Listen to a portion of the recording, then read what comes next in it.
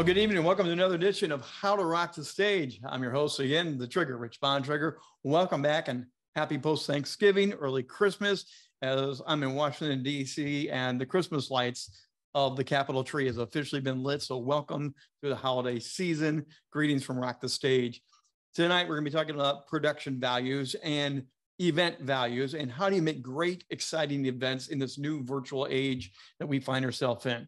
It's an exciting time. And from my perspective, you've heard me say it before, the virtual stage is ever expanding. And tonight we're going to talk about some amazing things that are happening and what our guest is doing in this new exciting virtual space with large events and global events. He has a great history. We're going to dive in that in just a couple of minutes. Coming up next week, we are back again at a regular, regular time, seven o'clock Eastern time. Mark Herschberg will be my guest, and we're going to talk about next generation media. He has an amazing new app and tool he's created and it's going to blur the line between visual technology, publishing, and much more. You don't want to miss that one. And then on December the 14th, midway through the month, we're going to have Terry Knott with us, and it's going to be vers- virtual testimonies. Another one of these new elements is being coming up. He's created another app, a different service to actually grab testimonies, make it easier to put on your website, to put into your email campaigns. It's two very exciting technical shows coming up back to back here on How to Rock the Stage. But tonight we're going to be getting back into it. And our guest is a veteran and an Emmy award winning camera operator, Howie Zales. He's turned his passion for television broadcasting into several entre- entrepreneur endeavors. Howie's created the HJZ Productions in t- 2000 to address the need for professional level sports staffing in the New York market. In 2019, Howie and his team founded Viridity Entertainment Services, or just VES. He offers those best classes, broadcast quality live streams of professional sports shows and concerts. VES also produces corporate meetings and events. He and I were just talking about that backstage. And he also has a still love to work with sports, and he has created the TV sports course hands-on training boot camp for the next generation of television crew professionals. And coming out of the sports world myself, I love to hear more about that all the time. Welcome to the virtual stage tonight, Howie Zale. Great to see you, Howie. Hey, Rich. Thanks for having me.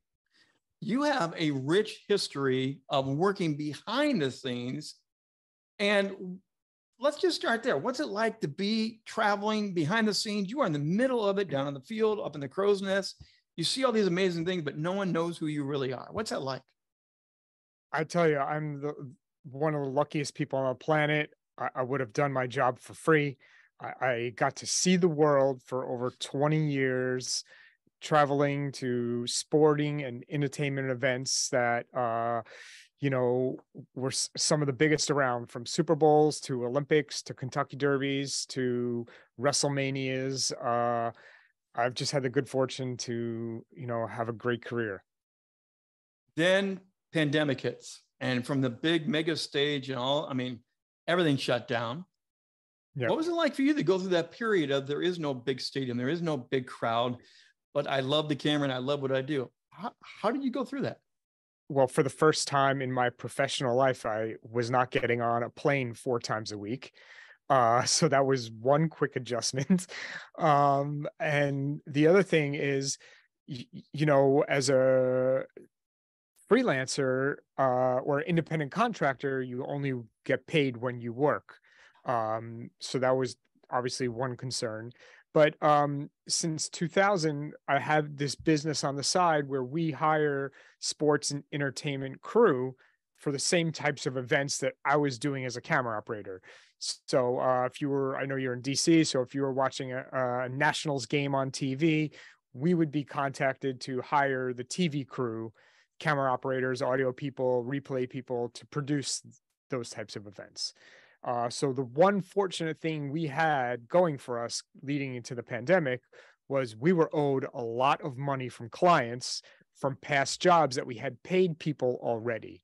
So we had a lot of money that was coming in so it gave us a little you know uh, breathing breathing room since then you have pivoted into the virtual space first of all do you mm-hmm. agree with my statement that the virtual stage is ever expanding yes completely Where do you think this is going? Because you now are producing through your own company mega events, sports events, but you've also gone different directions. You're not just in one lane. It's really already exploded for you, hasn't it?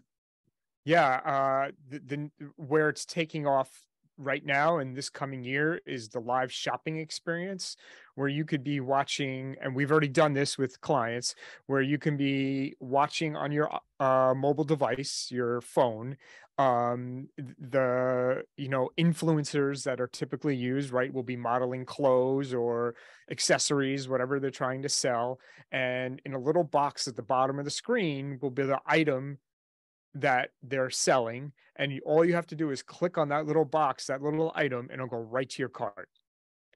Nothing else has to be done. Just it's going to be a 200 bang, billion dollar business. Yeah. What will that do for other industries once they figure out that's really viable? It's just gonna it, it's gonna enhance everything. I, I but i do think like the going to the store the days of going to the store the mall i really think that's that's over. So since you brought that up during pandemic, people were reaching out to me saying, "What do you think about the sports world, Rich? Uh, we're shut down and things like that. These mega arenas we're not going to use. People like us we're not going to use." And the question was, "What's going to happen next?" My hmm. original thought was, "We're never going back to mega crowds." I think the mid-size baseball stadiums are going to reemerge. I think mid-size venues are going to reemerge because the virtual will now become part of it. I haven't seen that happen yet, but do you think we're going to see that kind of morphing where the mega crowds aren't really going to stick around? Um, I think in the sports world, it's a little bit different. I think the crowds will still show up for sporting events. Um, but uh, uh, the streaming part of those sporting events is never going away. If anything, it's only getting bigger. And what I mean by that is um, the smaller events that are are that don't have the broadcast money because it takes a lot of money as you know to put on a television show just to rent a tv truck mm-hmm. could be uh $20000 for the day so um like smaller track and field events high school sports non-division one uh college events those are now going to be live streamed and uh with the with different there's everyone has a different way of doing it. Yeah. um but you can do it for so much cheaper than producing uh, a, a television show. I was sitting in a, a pub uh, a couple weeks ago and flipping through and i think it was espn 2 3 5 whatever it is now but they had cornhole competition. Yeah. Okay. Where did that come from that opened up my whole idea to how vast this can go. If we're watching cornhole and they have jerseys on and they have sponsor boards up for cornhole, what can't we put on the streaming anymore, right? Right. Let's get into the production side because you are a production genius. You're getting into this. And we're, we're going to have our poll question coming up here in just a few moments. But how heavy should people who are getting into this virtual space want to get production quality? Does the average Joe really care about production quality or do they just want to get through the events? How do we help them? Yeah, I, I think quality is everything. And um, if, if you may have the best intentions, the best message uh, to put forth, but if you don't sound good, and I put sound first, if you don't sound good, it doesn't matter what you're saying, and because people are not going to hear be able to hear yeah. you and if you don't look good and i'm not talking about your looks i'm talking about if you're not well lit if your camera is out of focus if the books behind you are in focus and your eyes are blurry that d- takes your uh takes your brain away from what the, you're trying to concentrate on as a viewer and you're not paying attention to the message that the uh that the video is trying to put forth and I want everyone to make sure they understood what he was also saying the audio first. People will put up with a bad video. But if the audio is really bad, they're not sticking around. They can't hear, they don't understand. It's really important to get the audio right first and then working on all the other magic.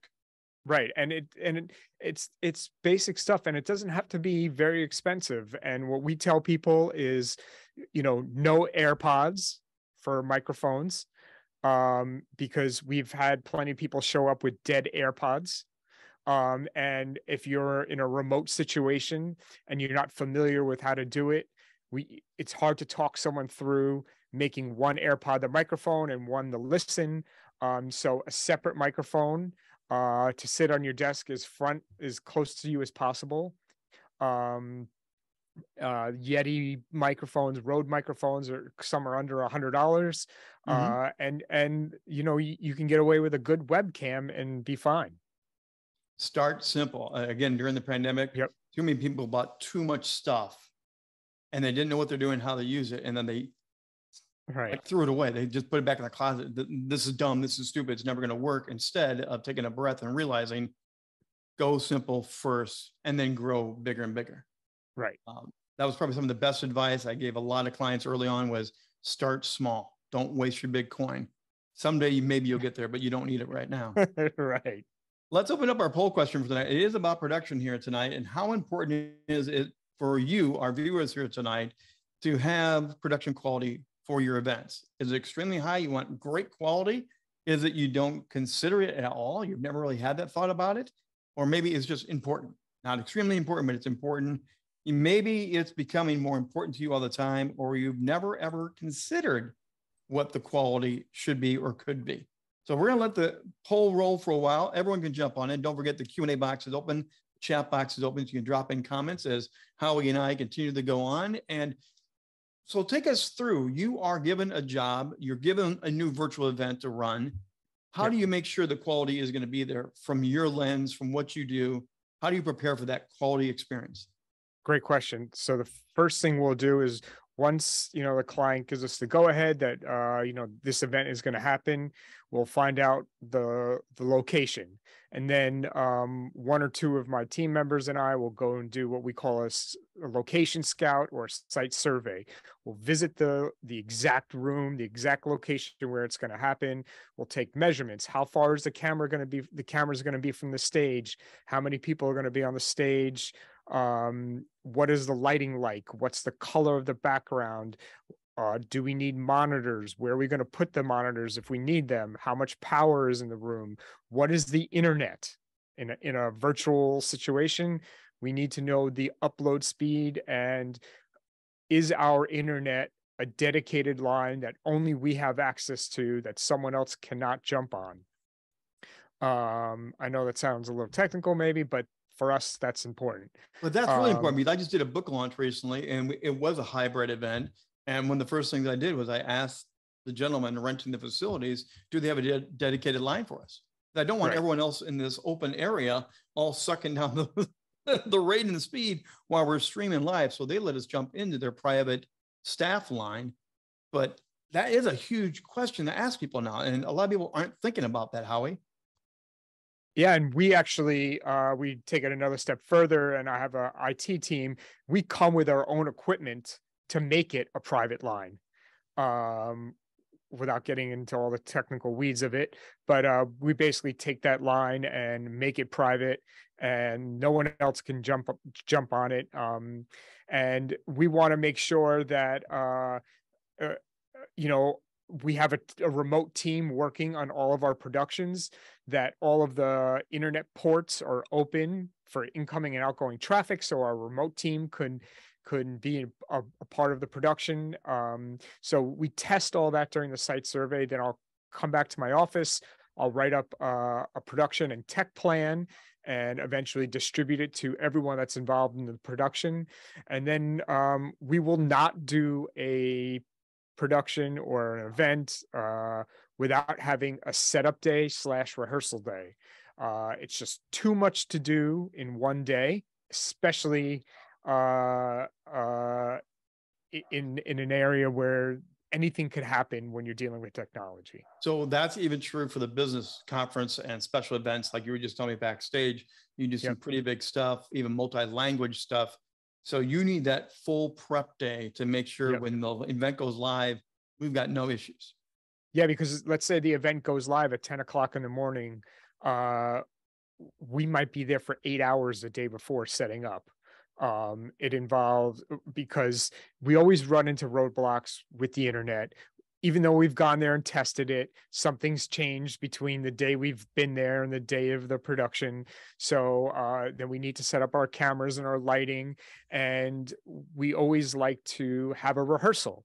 uh, and we always tell our clients the sloppiest rehearsals make the best productions because we try to have every situation scenario go wrong in the rehearsal.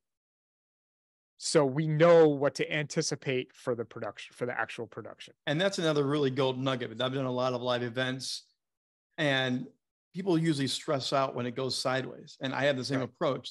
We're getting all the bugs out. We're learning an immense amount of things here and they're thinking let's trash it. Let's cancel it. This is a horrible idea whereas they don't see what you just described as this is going to help us so much when the right. real time really comes the clients are like, who in the heck did we hire to do this? And we're like, no, we're doing this is like purpose. We're, we're, we're making sure that all of anything that can possibly go wrong, we're trying to make go wrong. So it doesn't go wrong tomorrow. So on your events, are you the quarterback calling the production shots? Are you the one now in the main control center saying camera one, camera two, switch here? This guest um, comes so in. So that would be that would be the director. Uh, I'm training to do that. I we I usually have the same director on all of our shows, uh, but I'm overall technically in charge. And then I have like department heads. I have the head of our audio department. I have the head of our IT department, um, and then our director. And uh, a lot of times we'll have a producer. So there's like five or six of us that work on on all of our productions. And then depending where it's actually taking place is who do we hire for our on-site camera crew, our on-site audio team? Um, do we need a lighting and grip truck? Do we need teleprompters? Uh, do we need to rent monitors uh, for slides presentations? So um, other people is all dependent on what is necessary for the production. I want to go back because probably a lot of people don't think about this. But I want to go back to the earpiece and the comments made about iPad, uh, the um, earbuds. Yep people do not realize if you're watching the NFL, the, the announcers are going, they're getting stats. There's a fumble. There's a guy down in the field. There's other people talking in their ears simultaneously, and they have to keep the flow of the game and the action going while not stumbling over the words, but listening to sideline reporters, cameramen. Can you talk us through how important that is? The more elevated you get, and how to really work your brain that way, because people are not wired for this. Yeah, yeah, no, and you have to compartmentalize different aspects of the information because um uh if, if you're the color con- if you're the announcers right you're hearing your partner talking but you're not hearing yourself because that would mess you up. Yep. you're also hearing um if you're the uh commentators you're hearing the producer counting you down. You're hearing uh, them telling you which replay you're going to. Then out you're also if you're the color commentator you're pressing the button talking to the producer telling them which replay angles you want to see so it, there there's a lot of back and forth and uh, knowing which buttons to press to make sure that your talking is not going over the air when you don't want it to and that it is when you want it to uh, as a camera operator on the field if you're operating a handheld camera, you're wearing a one head one-sided headset. You're listening to the director and you're listening to the announcers all through the same same side because you want to show what the announcers are talking about. You're telling a story through your pictures matching what the announcers are saying while listening to the director so there's a lot of simultaneous talking going on. And and it's like a dance. It is like a concert where you're all trying to fill in together without overstepping each other. How long does it take to get that rhythm as a team to make high quality productions? Because well, I know, I'm, for example, during preseason, if you change your teammate on your play-by-play team, I know they mm-hmm. rehearse over the summer with other games very often to get everyone in the flow before the real NFL games kick off, right? Right yeah as a as a as a camera operator and uh, well at the network level you're um a lot of us have traveled together for years so uh, you know it's it's almost a well-oiled machine everyone has a responsibility um football most sports uh almost all sports uh has a formula on how it's uh shot. Uh and in football it's who has the ball and which direction is it going and where's the ball located and that's what your responsibility that's how your responsibility is determined. In baseball it's what camera are you? What righty or lefty batter is it up and how many outs are there and are there runners on base and that determines your re- responsibilities so when people run their own virtual events, when they're getting into this now, you know, everyone's thinking multi-camera. I want to make it so cool. I want to do cutaways and help people get their head wrapped around that beginners. When you really start, should you do a one camera shoot, a two camera shoot? Should you do it in post production and make it come together, make it look good afterwards? How would you help somebody out there really get started with this? Yeah, so let's say you're you're you, have a, a host and two panelists Okay. Uh, we'll just make it simple. We'll start simple. Um, we would suggest three cameras, one wide shot to include all three people, one camera to shoot the host, and that camera never leaves the host, and another camera on the opposite side, cross shooting the two panelists that can get a two shot or float between singles on whoever's talking. And then we just cut back and forth between the host the wide, the tight of the of the guests. And uh, it just makes for a simple flow of the production. Keeps it interesting because the camera angles are changing every few seconds but it's not jarring uh, and taking your uh, you know it's not jarring. Yeah because of that quick shot that people like snap or if you have right. it zoomed in too close you freak people out. So there's that whole balancing act of what you want the shot to look like. And then right. the next shot's also coming up as well. So you're you're again hearing multiple things aren't you? Yeah and you know if there's a s- slide presentation that's involved we'll incorporate the slides full screen so you can see them. If um let's say there's uh, a speaker at a podium um that is uh using slides uh, powerpoint slides as part of their presentation it, we'll use graphics to uh, make it more interesting. And what I mean by that is we'll make a two box uh, graphic. We'll put the person in a small box mm-hmm. and the slides in a bigger box. So they're on screen at the same time. Then we'll cut to the slides full. Then we'll cut back to the two box look of the person in the slide. Then maybe we'll go back to just the person. And then so we're cutting back and forth, keeping the viewer's interest without making it jarring and giving them the information that they need. We're going to go back to our poll real quickly here because the, the results are in on our how important is it and extremely high for this came out across the board. I, I I didn't know if people were going to be really that into it, but that's that that's very cool to hear that we have people watching and listening tonight, and hopefully on the replay as well. They realize the quality is important. It's not just the content; the quality does matter. Yes. When it comes to how fast should you edit? How fast should you have transition? Because some people are trying to figure out: do you do it long, a short? Uh, what is the rhythm now for that pacing of making an event virtually engaging, so they do stay with it? I, don't think there's any set formula to that. You you, you want to let it breathe. You want to um, keep the viewer's attention by changing the camera angles, but you want to let it breathe. Uh, if you're on a slide that has a lot of information, you want to stay on the slide so the viewer can read everything that is on the slide. Um, if there's not so if there's not a lot of information, there's only one or two sentences, so you stay on the slide a little less, or you stay in the two shot of the box and the person uh, a little less, and maybe you include the person more uh, during that time frame. So it all kind of depends on what's going on. From your overall career and experience, what was the most hairiest, challenging live event that you were in the middle of and it could have gone sideways, but you guys pulled it out and it really came across really amazing. The hairiest. Um, so when we our first big show, two two things. Our first shows uh, during the pandemic, um, a client called and said we in, need to interview nine baseball players in nine separate cities. Uh, but the interviewer could not leave her house. And he's like, Can you do that? And I'm like, Of course. So I hung up the phone and I called my wife. I said, Jenny, I said, I don't know what I just agreed to, but I have no idea how we're going to pull this off.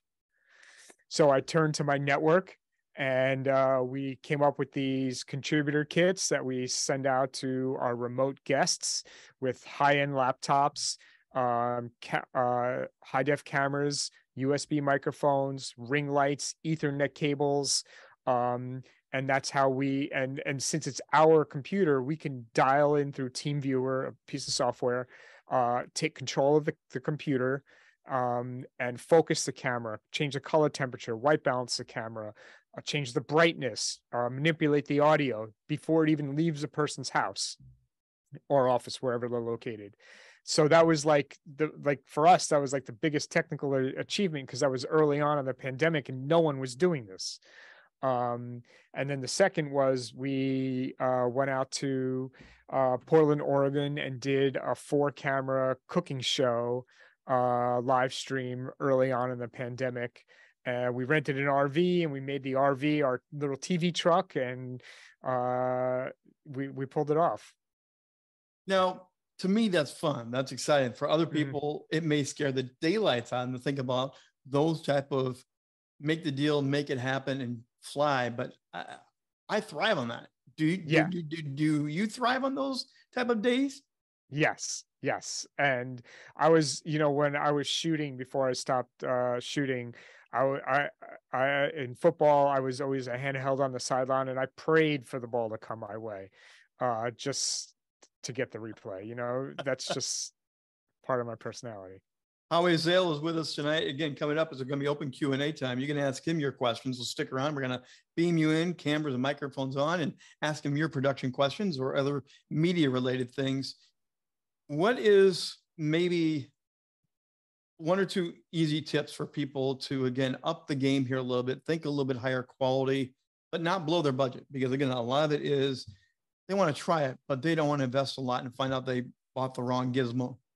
Yeah, uh, you know what? Um, I just have it ha- happen sitting right here. You can do it really cheaply. It's a Lume Cube. It's uh, I don't know how well you can see it, but it sits right on your desk, and yep. it has a microphone. Your cell, your mobile device goes right there. A little light goes right here. I don't. Maybe it's fifty dollars, and it's just a way to practice. You know, creating your own content if that's something you want to do for cheap. And then if that's something you really want to do, then maybe you invest in a in a high end or a higher end camera and lighting in the future. So I saw you had the muff on it. You had the big fur coat on that. Yeah, yeah. Um, for that quality and for sound, because sound is so important. I don't use a splash shield, but I know a lot of people do. Do you recommend that, or should people just uh, kind, kind of learn? Yeah, be, uh, it's it's more like uh, like for pop filters for the mm-hmm. for the P's, the B's, so it doesn't doesn't you know come out. And this is also made uh to go outside, you know. And I'm the type of person that if I don't have it on, I'm gonna lose it. what about because because again the audio sound is so important lapels over handhelds over ears which do you think are the best for the growth of this industry in this virtual space uh, that's that's a difficult question in the sense that they make some cheap lapel mics that are not good quality. Um, w- wireless microphones that are good quality are thousands um, for different reasons. One for the wireless part, for the RF part, to make sure that there's no interference. For the microphone part, for the sound. Um, it's so uh, it's hard to say because good audio uh, is is expensive. I think like the best bang for your buck is like a, a Yeti a Yeti Blue USB that can plug into your computer or into a Focusrite or a Rode that can mm. plug into your computer or a Focusrite. People love it being wireless, but believe me, when you're doing live productions, yeah, nothing better than having a cord tethering you to directly in and um, as a TV professional, uh, and we do a lot of feature shoots for clients, we never do any wirelesses without a dedicated audio person there that monitors it because um, it may be good going to the audio person, but there's a whole gap between the audio person and the camera person. So uh, yeah, unless you have the proper monitoring equipment, wireless is not suggested. Howie Zales is our guest. We're going to uh, have him share right now. What's what's the best way to find you, get in touch with you? We're going to get ready for the second half of the show where yeah. everyone else gets to ask you the question. But how's the best way to get in touch with you? Yeah, our, our uh, howiezales.com um, and all of our company websites are found underneath howiezales.com. Our uh, events and streaming company, Viridity Entertainment. Uh, dot com uh, or on LinkedIn at Howard Zales. And I'm dropping in the chat just because we have a couple of his right there. You can grab those. He is easy to find on LinkedIn and he is in the New York area. So uh, yes. uh, when you find him, you're going to know who he is. So Howie, stick around for a minute. We're going to do a little business and come on back here. Just want to remind everybody that uh, we are back next week for another great show. And again, we're going to get into apps. We're going to get into some virtual streaming apps that are going to help you out. Mark Hirschberg will be my guest and the next generation media. We're going to pick up the conversation on how this app is helping authors, speakers, and other ways with very creative ways. It incorporates in so many different aspects. And then on December the 14th, Terry Noet is going to be my guest. And virtual testimonies. You need testimonies on your website. You need testimonies to elevate you and your brand authority and how you help people. We're going to have a great time conversation on virtual testimonies. As always, if you ever need any help to better rock the stage, I'm here to coach you up to equip you to better produce podcasts, TV shows, streaming content, and especially if you're wanting more podcast interviews, if you're wanting to be interviewed on more shows, I have a special course just to help you to shine on camera and stage. Make sure you're a good interview and get those great sound bites. Contact me, rich at richbontrager.net, or just go to rockthestagemedia.com.